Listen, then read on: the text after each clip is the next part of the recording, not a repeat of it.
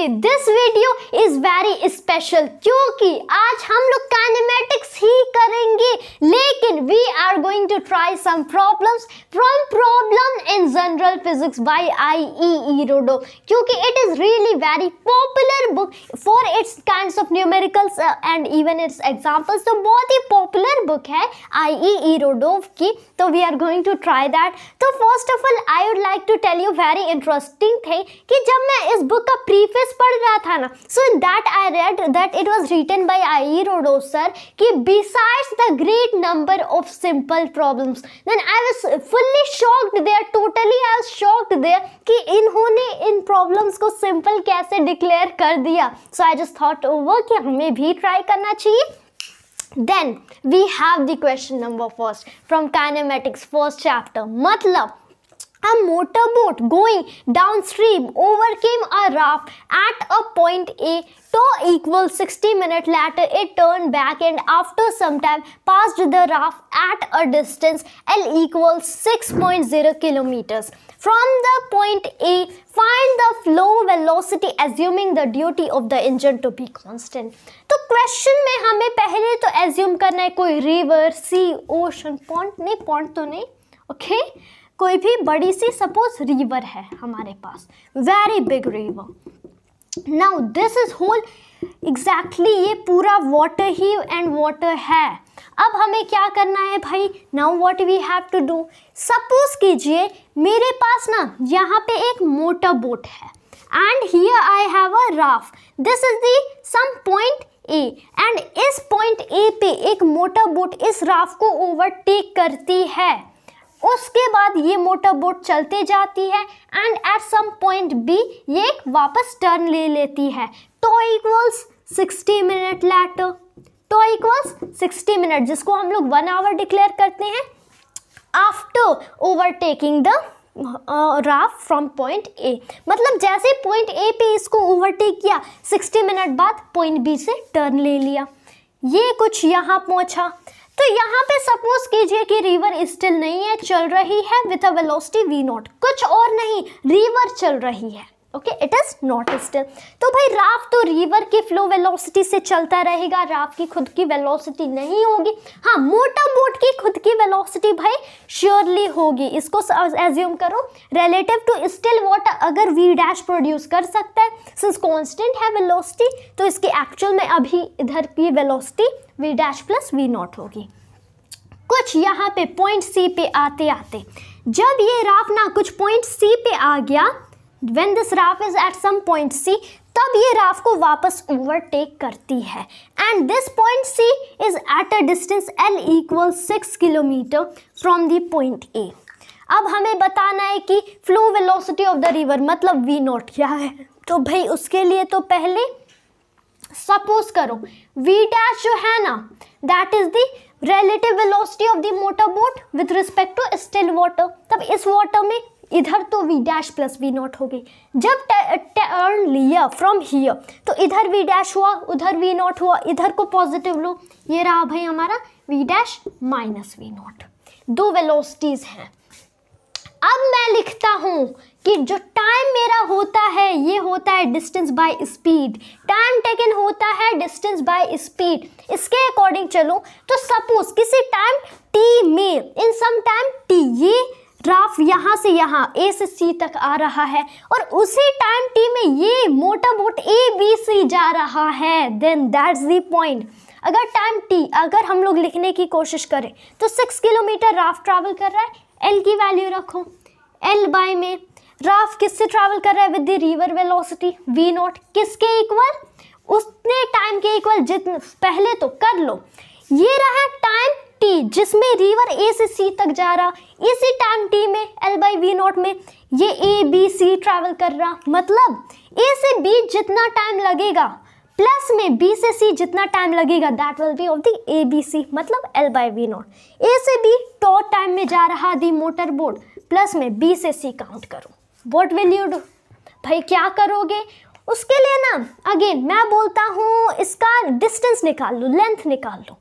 ये जो डिस्टेंस होगा, ये क्या होगा? यहाँ पे वेलोसिटी है ओके यहाँ पे भाई वेलोसिटी है. This is v dash plus में वी नॉट सॉरी माइनस में। इस वेलोसिटी से अब इधर जा रहा। चलो, इसको छोड़ो। मैं बोलता हूँ, यहाँ पे ना इनिशियली वी डैश और this is the v dash इसको एरो रिमूव करते हैं। वी डैश प्लस में वी नॉट अब अगर मैं इसी में टॉ मल्टीप्लाई कर दूँ तो मुझे ये एंटायर लेंथ मिलता है यहाँ से यहाँ तक। ये जो ए एंड बी के बीच का जो डिस्टेंस है that will be the speed into time मतलब v dash plus v naught into में टॉमिक टाइम में कवर कर रहा है। चलो तो यहाँ से यहाँ तक मतलब यहाँ से यहाँ तक it is v dash plus v naught into tau तो यहाँ से यहाँ तक ओ एल है। तो सिर्फ़ यहाँ से यहाँ तक के लिए पूरे में से इतना सब्ट्रैक्ट कर दो तो इतना डिस्टेंस मिलेगा। तो आपको मिलता है v dash plus v naught into में टो ये पूरे डिस्टेंस में से एल अगर सब्ट्रैक्ट करते हो तो इतना डिस्टेंस मिलता है।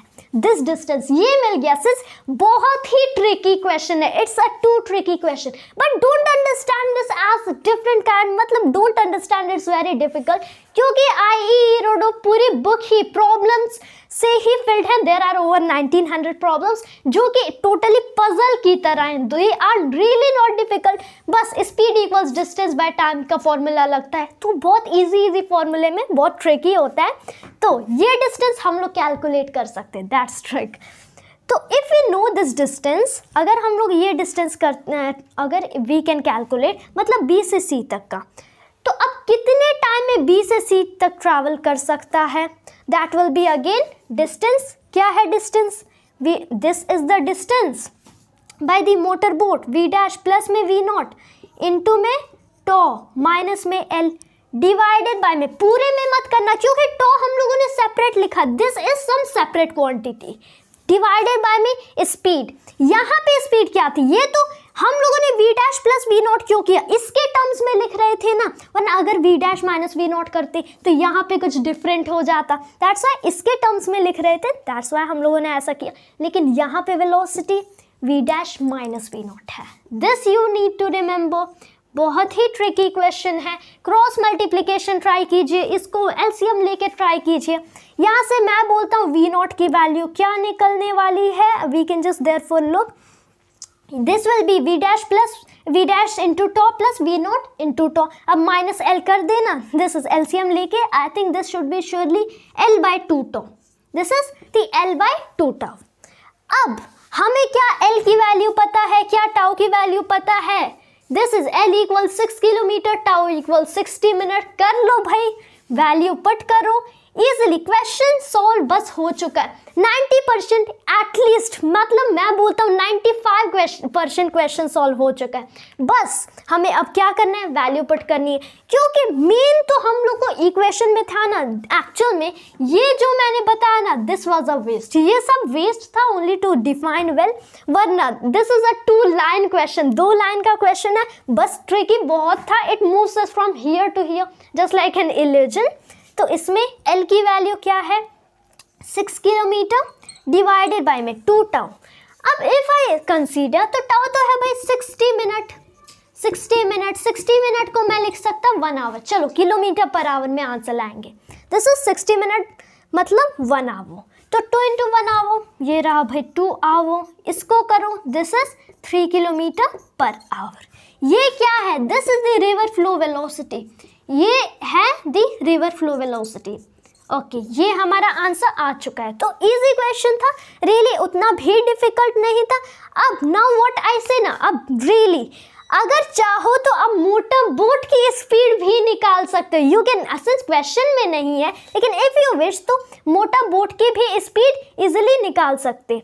तो if you try some more kind of thing which we are not just going to do in that अब इसमें एल बाई वी नॉट की वैल्यू रखना, इसमें टाओ की वैल्यू आपको पता है टॉ की वैल्यू पता है एल की वैल्यू पता है वी नॉट पता है, यहाँ से वी डैश निकाल देना। दैट्स वेरी सिंपल बस एक चीज़ जो कि हमसे पूछी गई थी, अगर वो हमें निकल गई तो बाकी क्वांटिटीज़ भी हम लोग ईजिली निकाल सकते हैं। क्या है ये?